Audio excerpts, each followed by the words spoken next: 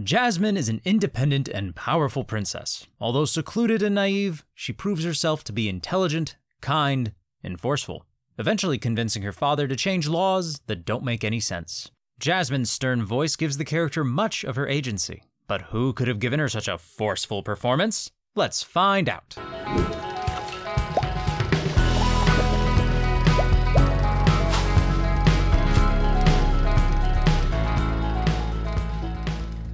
Linda Larkin was born on March 20th, 1970 in Alaska and was raised in Duluth, Minnesota. From colder to just slightly less frigid, it would seem. As a child, she was highly influenced by Julie Andrews in The Sound of Music and Snow White. In the fifth grade, she relocated with her family to Maplewood, a suburb of St. Paul, where she became active in the performing arts world, studying dance, ballet being her specialty, and at age 12 auditioning for the role of Cinderella in the Minneapolis Children's Theater. She toured the country with a group from the renowned Larkin Dance Studio, from which she took her professional name. At age 18, Linda moved to New York City to attend Hofstra University and to pursue a career in the arts. Her first professional job was dancing in the Disney produced extravaganza at Yankee Stadium. As her education progressed, her focus shifted from dancing to acting. And after graduation, she continued those studies, this time with renowned acting coach and instructor Anthony Abeson.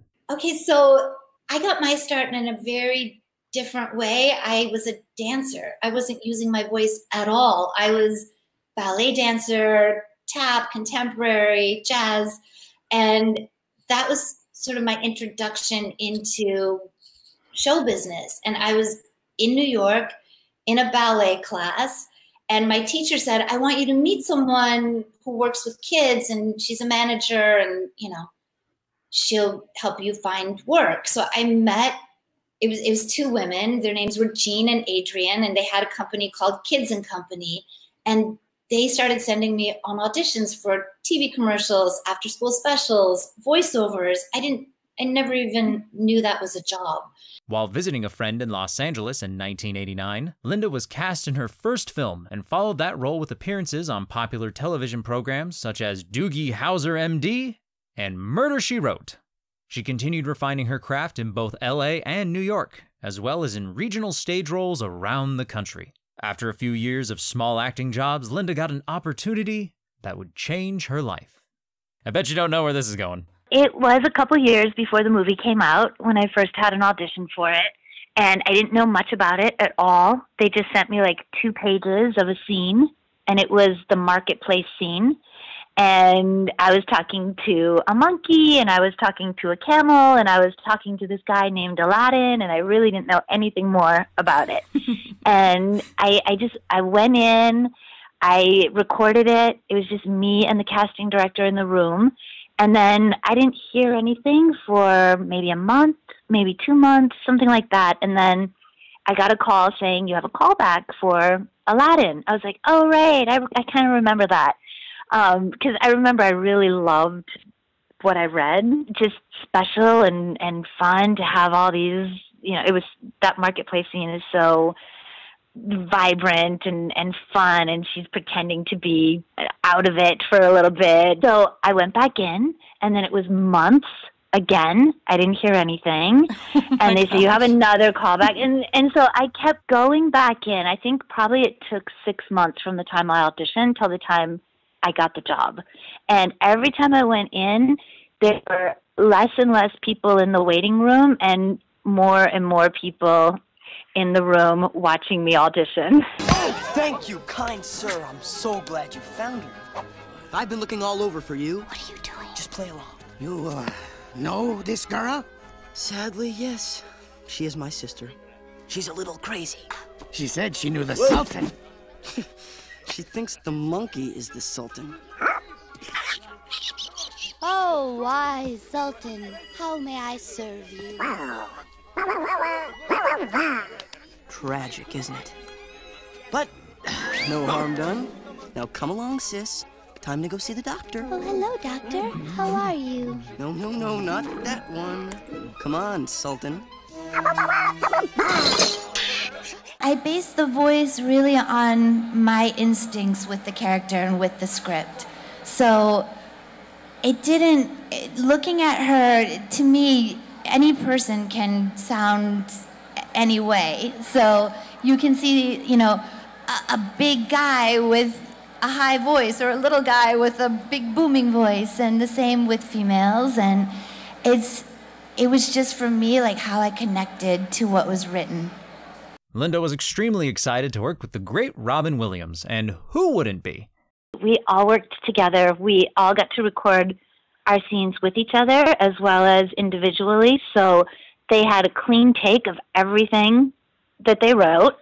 And then they also had overlapping, spontaneous, improvisational takes between, you know, all of the characters who had scenes together. And for me, I only had one scene where the genie was present in the movie, but I got to record that scene with Robin. So it was it was really really exciting for me. I was a huge Robin Williams fan since I was a little girl, huge Robin fan, and I knew we were going to be in this movie together, but I didn't know that I'd ever actually be in a room with him. And we got to work together that day. It was just one day. Then we knew each other for 20 years. We were able to, you know, we did press junkets together and we would see each other at events. He was involved to some degree with my husband's theater company in New York and he would play charades with them at their fundraiser every year and I I got to see him and he always throw his arms wide and say princess like really really great to know him in even just a small way. uh, Princess Jasmine, you're very Wonderful, magnificent, glorious, punctual. punctual. Punctual. Sorry. Uh, uh, beautiful. Nice recovery. Hmm. I'm rich too, you know. Yeah, The daughter of a sultan. I know. A fine prize for any prince to marry. Uh, right, right. A, a prince like me. Warning, warning. Right. Prince like you. And every other stuffed shirt Hey, swaggering wait. peacock I've met. Mayday, mayday! Just What? go jump off a balcony. What? I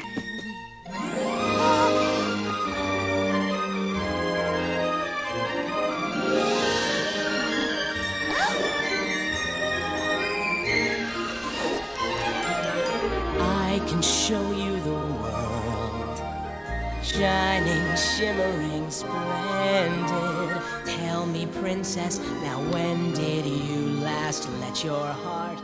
Whole New World.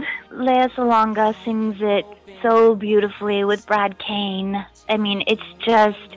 I, I think I probably cry every time I see that part of the movie. It, it's it's not it's the song obviously and the performances, but the animation through that song is so beautiful. Where they are riding the carpet over the whole world. It's beautiful. I I love that song. I love the way it was animated.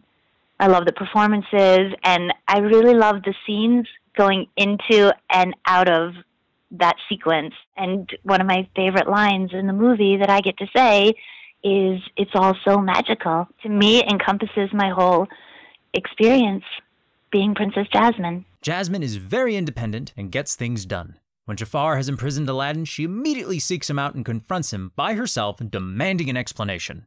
She's also not afraid to challenge her father. Jasmine obviously loves and respects her father, but she's certainly not afraid of stating her opinion and making herself heard by the many men in her life. I will win your daughter. How dare you? All of you, standing around deciding my future? I am not a prize to be won. Oh dear. From here, Linda has appeared as Jasmine in every appearance of the character, including the much beloved television series.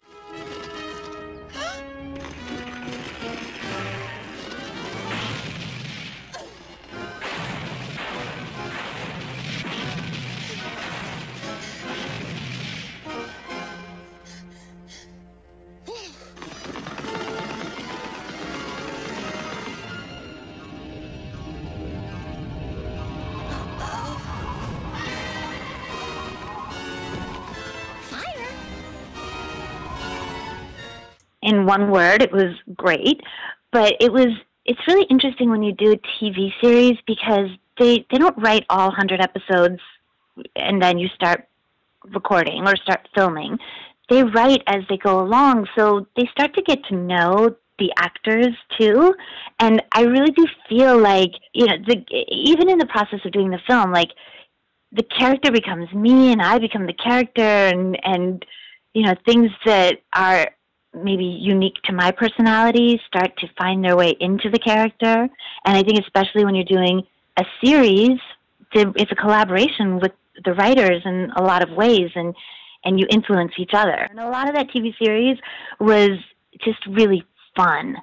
Like some of it wasn't about, you know, the character development, but it was just about like silly, fun situations too that they found themselves in with a genie and a carpet and a monkey. She also appeared in the sequel, where the character really began to find her stride. In The Return of Jafar, that was it was much at the beginning, but I feel like that was when Jasmine got to really be more assertive and and taking the lead, taking on the bad guy and and having initiative and ideas and you know, I, I felt like in Return of Jafar, that character really started to blossom. As well as performing Jasmine in video games, theme park rides, and toys, she continued acting in various television guest spots, such as Wings and Law and Order Criminal Intent. She was also in feature films such as Our Son, The Matchmaker, Basquiat, Childhood's End, Runaway Bride, The Next Best Thing, Joshua, and You Belong to Me.